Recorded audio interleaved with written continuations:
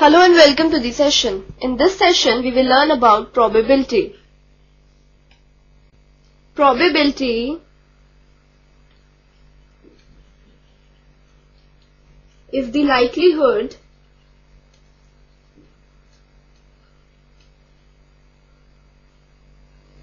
or chance that something is the case or will happen.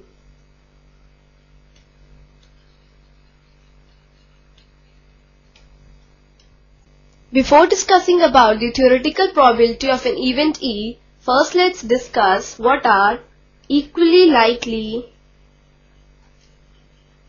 outcomes.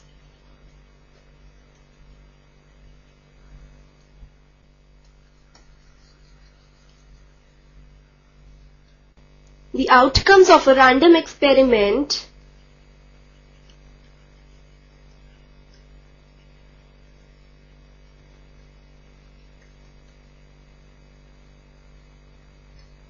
are said to be equally likely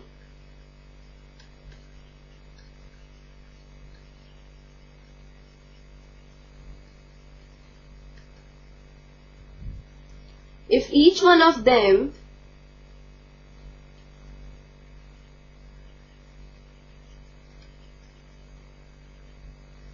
have equal chance of occurrence.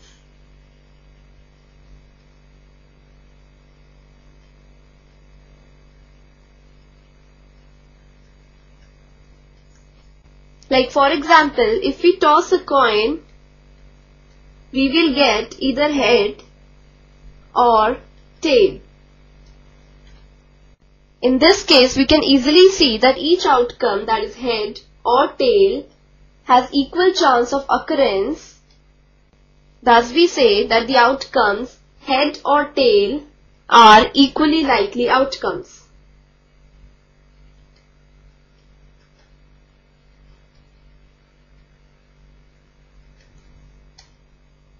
Let's consider an event E.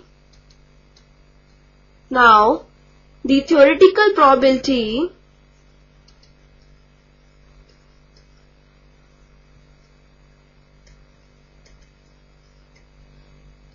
of an event E which is also given by PE would be equal to number of outcomes favorable to E upon number of all possible outcomes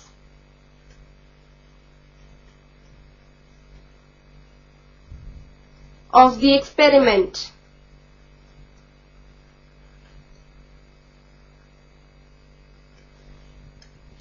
Where the outcomes of the experiment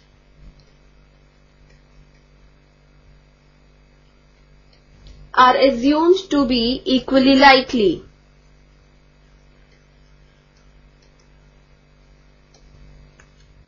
Theoretical probability is also referred as probability. Let's consider an example in which the coin is tossed once and we have to find the probability of getting a head.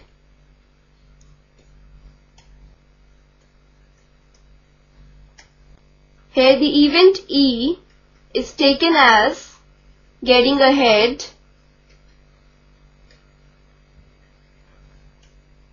Then probability of the event E that is probability of getting ahead would be equal to number of outcomes favorable to E. That is when we toss a coin we'll get a head or a tail. So chances of getting ahead is 1 so number of outcomes favorable to E is 1 upon number of all possible outcomes. All possible outcomes of this experiment would be 2 that is head or a tail. So 1 upon 2 is the probability of getting a head. An event which is sure or certain to occur is called the sure event or a certain event. Now, the probability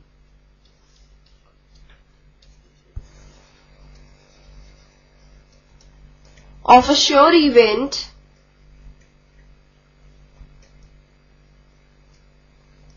or you can also say certain event is 1. When we throw a die,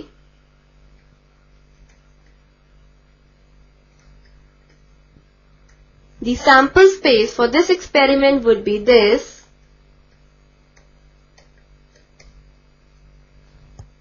Now let E1 be the event of getting number less than 7 Clearly you can see that each outcome of this experiment is a number less than 7. So the number of favorable outcomes is the same as the number of all possible outcomes which is 6. So probability of this event would be 6 upon 6 that is 1 and E1 is a sure event. An event which is impossible to occur is called an impossible event. Now, the probability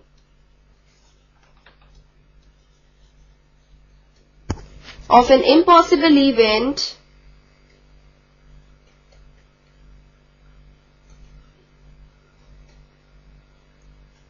is 0. Now again we consider that we throw a die. Now the sample space for this experiment would be this. We consider an event E1 of getting number 8 in this sample space as you can see there is no number 8 so probability of this event would be equal to 0 upon the total number of outcomes that is 6 and so its probability is equal to 0. So this is an impossible event.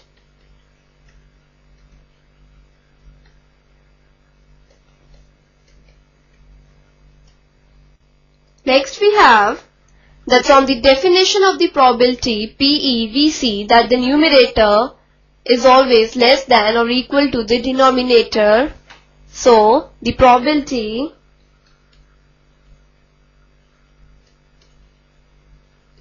of an event E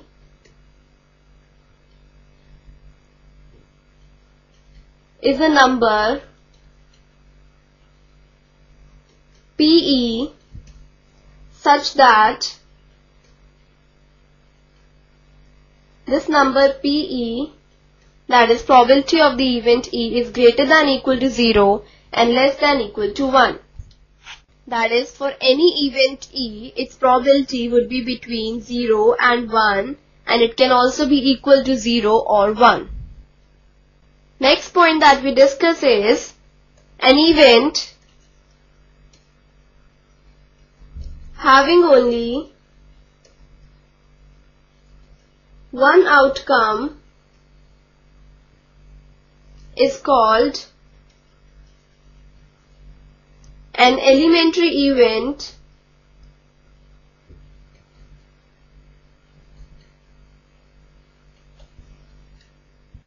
like if we toss a coin the events that would occur would be let it be event E of getting a head and event F of getting a tail.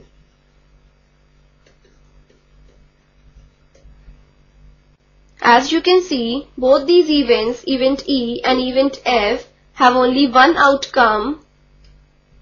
So they can be considered as elementary events.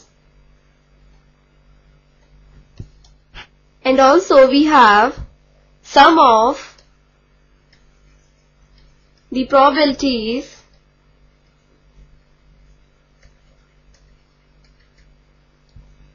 of all the elementary events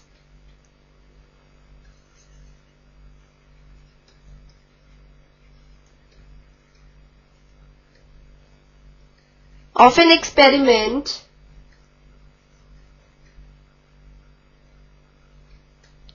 is 1.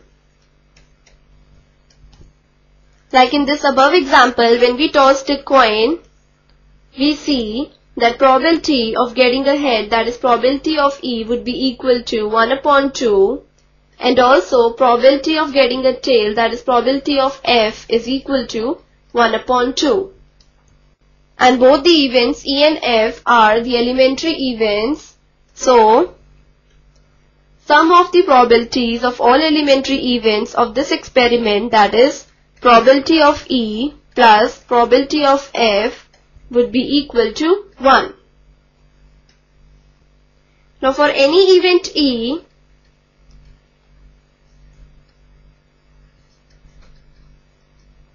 probability of event E plus probability of E bar is equal to 1 where this E bar stands for not E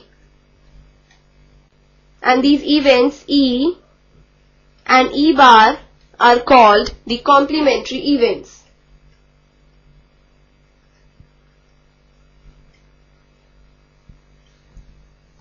In general, we can also say that probability of E bar is equal to 1 minus probability of E. Again consider the example when we toss a coin. There are two possible outcomes, head and tail. Let E be the event of getting a head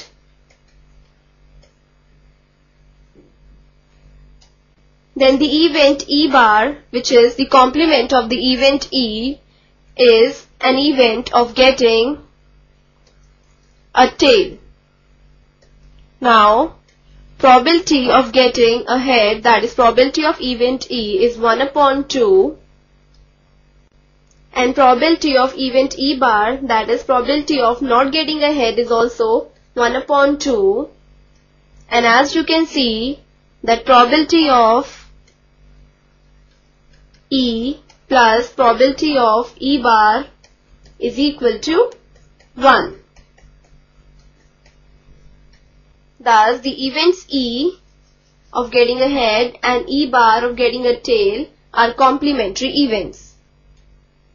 This completes the session. Hope you have understood the concept of probability.